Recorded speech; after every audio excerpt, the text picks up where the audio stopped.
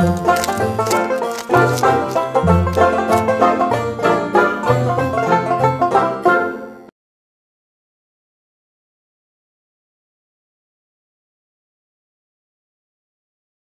working with a company called Funskool India Limited. We manufacture toys and games. There's one guy who has had a profound influence on me in the during the times when I was doing design. His name is Mr. Ved Narayan. I have given him several toys to play with. And by and large, my experience has been, my observation has been that around six minutes he plays with a toy, around 13 minutes with the packaging, and then he goes to his favorite toy, which is a steel vessel and a spoon, with which he creates such a racket that everyone gets out of the house. So, that being the case, I stopped designing toys and I moved on to games for much more sensible people. So, I gave him his first box of snakes and ladders. I mean, I knew that he wouldn't play with it for at least one and a half years. But I gave that to him, and his dad wasn't very impressed with it. He said, Why not a game of chess? We could make a grandmaster of him maybe in another two, three years. So I had to, you know, give a big lecture about strategy, bishops, knights, queen, kings, all those things, and how the guy might eat up all the queens and kings. And so I stopped it and went back to the office and started thinking about it. Why did his dad treat snakes and ladders with such disrespect? And why did he think that chess was the ultimate in the amongst all the games that he has to recommend it for his children? This I shared with my colleagues as well, and uh, over several months of debate and over several bottles of beer, also, I think, we came to the solution. There are three major factors any game, and this I am referring mostly to board games, but the analysis can get carried forward to outdoor games or video games or any sort of games. Chance, skill, and strategy. These three factors are seen in almost all games in different proportions. I mean, which range from 0 to 100%. It could be 0 as well. It's not that all the three has to be there. It would be worthwhile defining these three elements uh, in a better way. Chance is what I would call as a, the, the, the randomness that has been designed into the game by the designer. It could be by the throw of a dice, it could be by spinning, or it could be by the blind picking up of a card or a letter tile or something like that. That's uh, chance. Many times during the discussions we had with within ourselves, the question was raised as to is not the opponent's move a chance to the other player? No, I wouldn't consider that to be a designed chance. Like for example, if I were to play with Viswanathan Anand chess, I'm sure he would uh, get defeated because I don't have any strategy. I'm a very poor player. So he might think of something and he might be taking a terrible chance playing against me. Anyway, that's not chance. What is chance is a designed randomness in the game. And what is skill? Skill is dexterity, something which we acquire as we play the game more and more. This happens mostly in action games, and when I say action games, mostly in outdoor games, but also in those uh, table games which are action based. Here, let me say there are two types of skills which uh, can be developed. There is a physical as well as a mental. Physical, mostly in the outdoor games or uh, games like caroms or things like that, and mental skills are those uh, specifically what we see in uh, word building games and uh, such uh, uh, mathematically calculating games, things like that. Strategy is pure killer instinct. May not be maybe too strong a word, but um, that's uh, what makes us sort of prevent the opposing players from scoring more and making such necessary moves that they are blocked and we score more over our opponents. Now, why are these uh, more important in all the games? And how does it have any sort of connection with the age? We know that all the very young children do not have a set pattern of thinking, and every event or every occasion, uh, whatever they face, which we find as commonplace, are totally new experiences for them. There's no logical reasoning in their uh, reactions, and uh, it's all a learning process all the time. So, anything that we uh, think as very ordinary is a new, wonderful experience for them. That's why a game like Snakes and Ladders, which we tend to sort of think as, in, as an insignificant game, has been in existence for so many decades and still is an attractive game for the very young children. That's why chance games are much more suited for the lower age uh, children. And as their motor skills develop and uh, get uh, refined, there is more activity based games which excite them. So, as the age group increases, you find more of the skill based games going in for that for the children.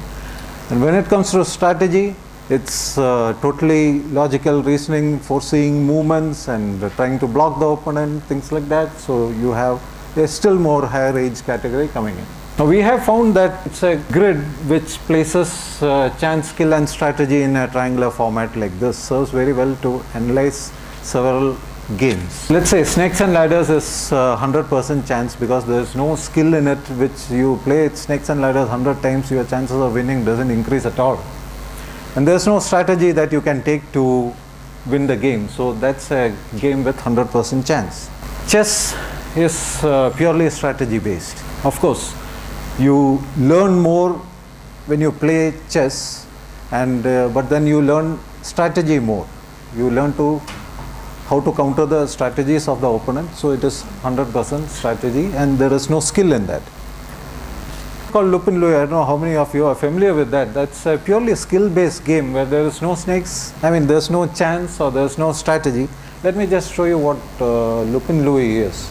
It's a, it's a tabletop game. On a central pillar, you, it's, uh, uh, there's a motor inside which uh, connects to the boom and on the, the end of the boom there is uh, Louie here in an airplane. He goes round and round as well as up and down. He tends to knock off these tokens which are here and each player has to press the stab here and to bounce Louie so that he doesn't hit the tokens.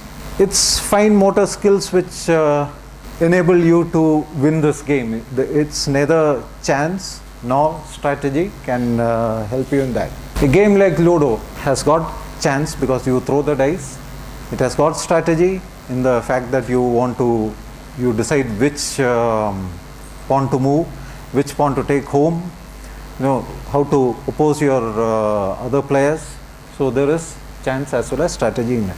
Scrabble, if you take that, there is uh, chance in it in the blind draw of the letter tiles. There is uh, skill in it, that's a mental skills which uh, enable you to form the words increase your vocabulary as you play more. There is strategy in it in deciding where to place your tiles to maximize your score as well as where not to place the tiles because that can give an opening to your opponent. Monopoly, another popular game, is chance and strategy mix. There is uh, chance because there is dice. There are also the blind draw of uh, cards in it.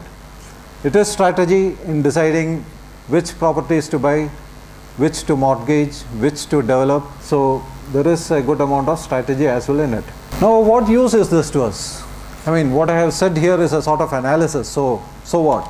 I can speak from my personal experience of what uh, designs we have handled is that uh, this enables a designer to tweak a game to different age groups.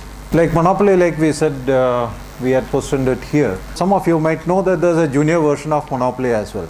So in that, what do we do? We know that for the junior, the regular Monopoly caters to an age group of 8 plus and the junior Monopoly from 5 to 8. So we know that we have to increase the chance element in the game and reduce the strategy part of it. Skill of course is not there at all. So Monopoly Junior has to go there. And what have they done in the Monopoly game? In the regular Monopoly, there are seven spaces where you get a chance card.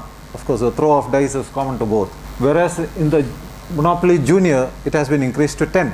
And also, the whole theme of the game has been changed. In the regular Monopoly, you have uh, properties where you buy, where you mortgage, where you develop. Whereas in Junior Monopoly, you just have it's a carnival based uh, theme where you have several rides and uh, play areas where a player lands onto any particular play area, you can buy a ticket booth from the bank and keep it over there. And thereafter, anyone who comes over there has to pay purchase tickets from you. So you, a player pays to you, and uh, that's how the game proceeds. There's no developing the property. So the chance element has substantially increased, and the strategy element has been reduced that bit. So this enables it to be uh, suitable for a lower age group. Another game what we developed, I mean that again uh, was changing an existing uh, uh, existing game. But this was a totally new game that we developed uh, in Funskool. It's called Munching Moose. This consists of a game board which has been split into four parts and there's a fence separating out uh, the four parts. Each represent a pasture where there are patches of grass. Each player has got a cow as a pawn and uh, based on the movement of the cow on each patch of the grass you can flip it over to expose the soil which makes I mean it's considered as the grass has been eaten. The first player who manages to get his cow to eat all the patches of grass in his field wins the game. At the center there is a pond where the cow goes to drink water. Now the this was initially planned for an age group of uh, 5 to 7 and uh, we purely based it on chance alone where a spinner was given and uh, the position of the arrow on the spinner decides uh, how many moves the cow makes, one, two, or three. And you also had an option where the cow goes to drink water, as well as an option where the cow falls asleep wherever it stands, so no movement at all. After developing the game and playing it out with a few children, it was decided that we increase the age group to which this game caters. Now, it's not enough to just print the age group as different on the box. I mean, you have to add a little bit of uh, something more excitement into the game. So we did a, decided to add a small element of strategy into that. We had Munching Moose, which was a purely chance-based game, and what we did was, uh, if you can see out here, we added one more element here saying that grows back. Now, if a player ends up on that option, it's upon the adjacent player to decide which patch of grass which has been eaten is flipped back to reveal the grass again. So that, that added a lot of excitement into the game where uh, I could uh, decide on the other player's uh, patch of grass uh, so that uh, he has got something more to do. And invariably the kids uh, immediately figure out which patch of grass should grow, which is very far away from the current position of the cow. This added a, quite a lot of excitement and we went ahead with this. So what it has done is uh, it has moved a little bit down closer to strategy. So I see two benefits in this uh, sort of analysis, the marking the game on a grid and uh, further tuning up the games. One is to produce a lower version of the lower age version of the existing game or when play testing a game to decide on whether it is uh, good in its excitement and uh, whether some other element of skill or strategy or chance has to be added to it to make it much more suitable to a particular age group. Having said that, there are a few disclaimers also which I have to announce here. Number one, there's a very thin line dividing strategy and uh, skill when it comes to certain games like chess. Whether it's really as you play more and more, is not your skill developing or is your strategy alone going up? There's a gray area out there which needs to be probably studied and refined more. Another aspect is uh, I keep positioning the dots for the games here and there, but there's no way of quantifying what is the amount of chance in any particular game. Does Junior Monopoly have, let's say, 10 grams of chance versus uh, monopoly having uh, only 7 grams or something like that. Can we quantify it? I'm not sure about it. I haven't given a thought about it. If some of you can do that, well and fine.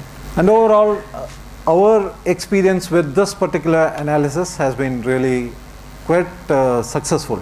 But still, it hasn't helped me figure out uh, how to make chess for a one and a half year old kid. I'm still working on it. Thank you very much. Thank you.